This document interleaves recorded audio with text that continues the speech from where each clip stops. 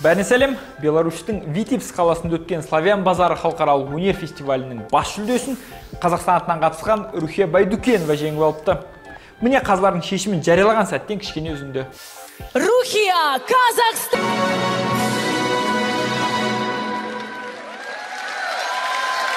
Наше признание и искреннее поздравление, Рухия.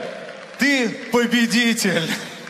желденді динара сәтжан димаш құдайберген де 6 жыл бұрын славян базары фестивалінде топ жарып кейін әлемге танылып еді. Енді рухия байдукенова да бас жүлде әкеле жатыр деп отыр.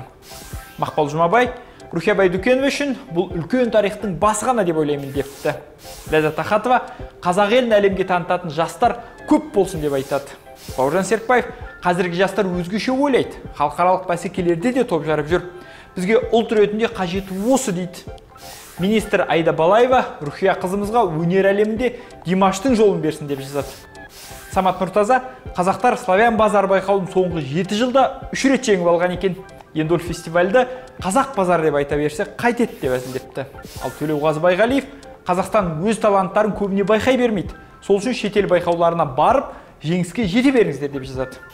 Сонымен менде бүгінге осы азаттық парақтарынан көз жазбаңыздар. Келесі кездескенше.